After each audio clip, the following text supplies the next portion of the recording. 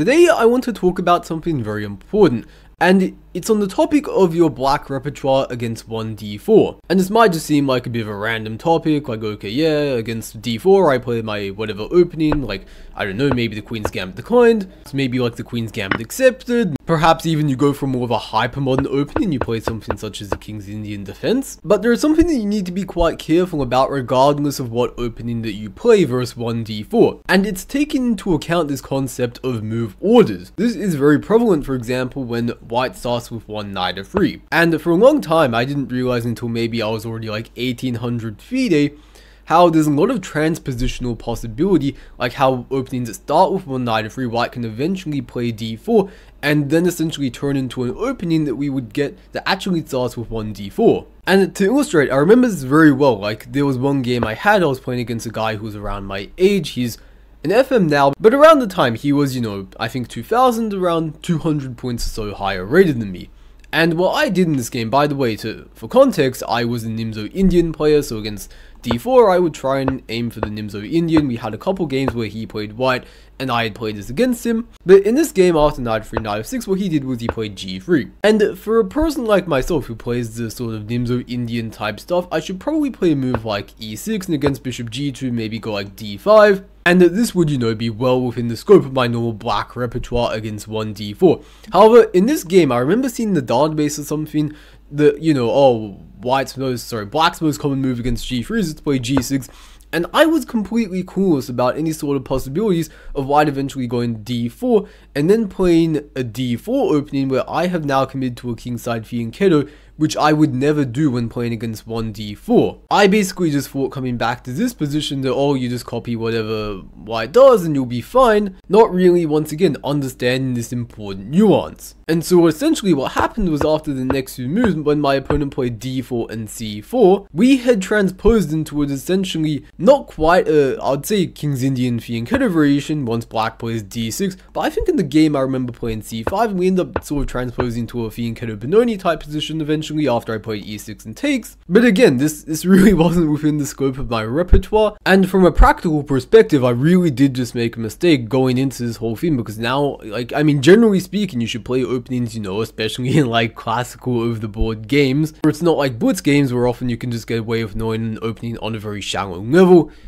if you do that in classical, sometimes you can get away with it, but especially against stronger opponents, it's a very risky sort of uh, thing to do. But even so, however, coming back to like say whatever defense you play against 1d4, even if like say you follow the general scheme of development that you would normally play against 1 knight f3 that you would against d4, even then you have to sort of be a bit careful to not end up in a position that you really just don't like. For example, one of the best examples I can think of is Against, say, knight f3 in this position where white avoids an Nimzo Indian, black very often will go for the queen's Indian defense playing b6 and against the main line g3 where white opts for a kingside fianchetto, black generally speaking has two options. One of them is to go bishop b7, this is a very solid one, but another option is bishop a6 which is a very sort of ambitious move, immediately putting pressure on the c4 pawn. And I thought about playing this variation before for the black pieces because it definitely appealed to me on some sort of level, However, one sort of problem that I realized with it, and one thing that definitely stopped me from playing this whole variation, was that I realized against knight f3, if I tried to play some sort of thing like against c4, e6, g3, b6, bishop g2, that now in this position, Bishop a6 doesn't really make any sense at all, and if I were to play bishop b7 after d4, I would essentially be tricked into a variation that I didn't want to play. And also just to briefly explain why bishop a6 doesn't make much sense in this position, at the very least white can just sort of play d3 temporarily, and this bishop kind of looks stupid pointing at this pawn on c4, which is once again why bishop b7 is probably the best move here, but then again, these would lead to positions which if we were to play bishop a6 in this variation are not really in our repertoire. And you could maybe argue, oh, you can just study both then, so in the worst case scenario, you can, you know, pull out bishop b7 in this position, right? But personally, I was never really that type of person. I was sort of lazy. I'm like, I don't want to have to prepare like a whole nother variation in my opening repertoire just in case someone plays one knight of three. I want my normal repertoire in its like fullest form, I guess you could say, to really work against whatever move order white throws at us. And to give another example of a very popular opening against 1d4 that doesn't quite work the same against 1 knight f3 is going to be the Grunfeld defense after c4, g6, knight c3, and of bishop g7 allowing the king's Indian, we're going to play d5. A very direct and confrontational defense against 1d4, also probably in my opinion one of the objectively strongest ones and most difficult for white to really deal with. And of course, one of the main variations you have to keep in mind of the Grunfeld is when white takes, they go for the so-called exchange variation, and black gets this sort of structure when, when they take on the c3 square, they can now play bishop g7, c5, and gain quick counterplay against this sort of structure. However, one of the issues, so to speak, about the Grunfeld is that, again, it's not so easy to play against the sort of English knight f3 stuff. We're saying this position, white plays c4, black plays g6, in line with the normal sort of setup.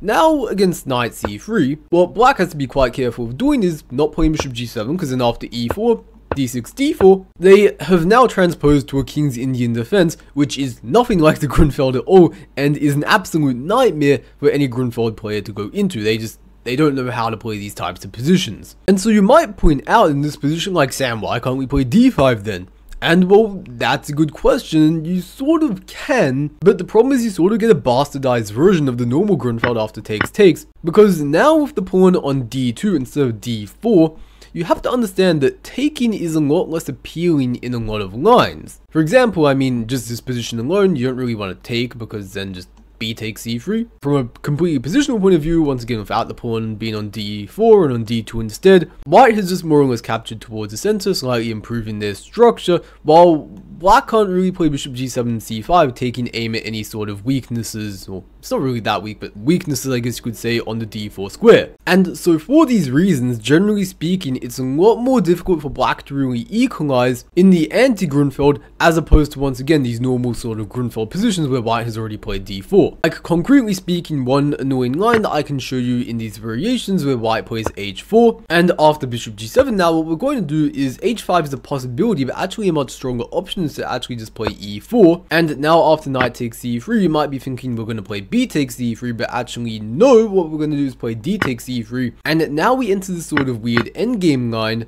which is an improved version actually of a very similar variation which can occur in this position.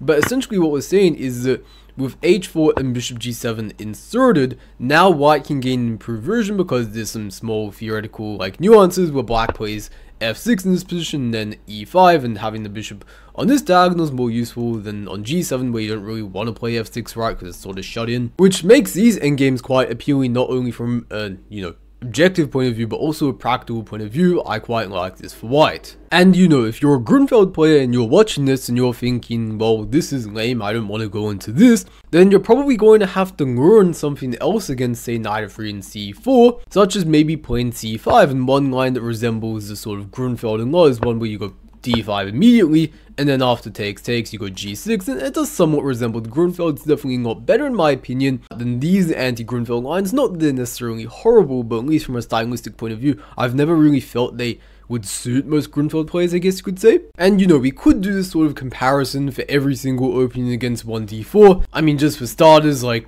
something like the Albin counter gambit, obviously you can't do this if white does something simple, like not even play knight of 3 on move 1, but even just on move 2 here, where it's like now you sort of have to play a completely different opening. You, you can't play your normal sort of rubbish with uh, e5. Not that it's something that uh, you should even really be wanting to play in the first place, but of course something to keep in mind, right? Another quick one that comes to mind is also say the Benoni, where against uh, you know, d4, c4, you can get it like this. Or if we want to be like specific about names, the, the Modern Benoni, whereas uh, Another variation of the Benoni, maybe the old Benoni you could call it, is with white playing knight f3 here, and now after c5, d5, this is definitely more characteristic of what we'd call an old Benoni, where white has not yet committed their pawn on c2 to the c4 square, which leaves them open with this option of meeting e6 with actually knight c3. And again, black is sort of not getting the sort of positions they want. Sure, you can study this, but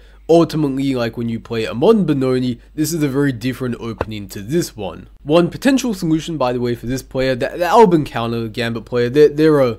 they're a lost cause, but For the non-Benoni player, one solution maybe could be to play g6 and again c4, then to play c5, and now after d5, you can eventually sort of transpose into some sort of Benoni. But I want to, you know, finish up because again I can't talk about every single opening in the world, well I could, but the video would be an hour long and only so many of you actually want to see that. But with my repertoire, one thing that I sort of realized was that for a long time, or not a long time, maybe like a year or so, I played, okay, first of all I played the Nimzo Indian, but alongside this against Knight of3, you sort of need another opening, and what I decided to play was uh, actually the Bogo Indian defense. However, again, coming back to this position after Knight of3, Knight f6, c4, well of course now, I, if I want to go for the sort of Bogo Indians type stuff, I should play e6, since after d4, now we can transpose back into that sort of territory. However, what happens if white does not play d4, instead goes say Knight c3 in this position? And the sort of problem problem that I ran into eventually was that you couldn't play bishop b4. And again, if white plays d4, we're very happy to see this. This is like a normal Nimzo Indian position, God bless.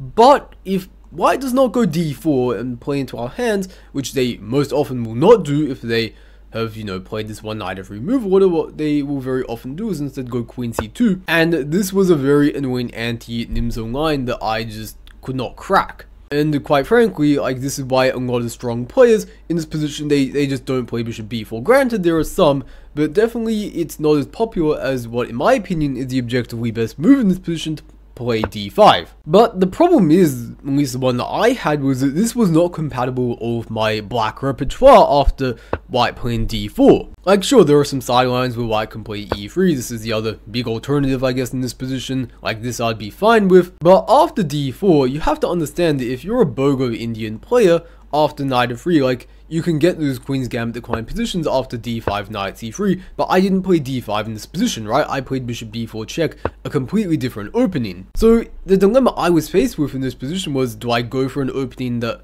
like I just don't like. Like these positions are essentially, by the way, uh, what we'd have in the Nimzo Indian where white plays queen c2. But you have to understand these positions.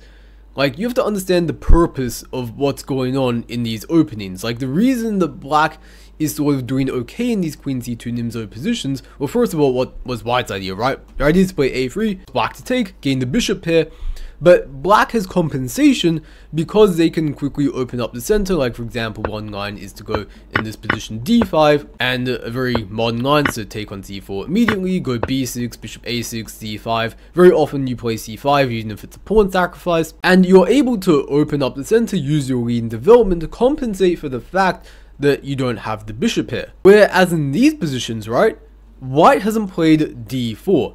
their pawn is all the way back on d2, which means that even if black gives up the bishop here, it's a lot more difficult to really exploit the fact that, that black has a lead in development because let's say after something like castles, a3 takes takes, like sure black can play d5, but it's not really going anywhere compared to these other variations because after e3 it's like you can take, take, but again with the pawn back on d2, there is no like way that black can quickly blast open the position and you know exploit white sort of lagging development, which really means that black has to play in a much more slow way, and that's something that black, sorry, white rather, is completely fine with, since they have the long-term advantage of the bishop pair, and yeah, I just,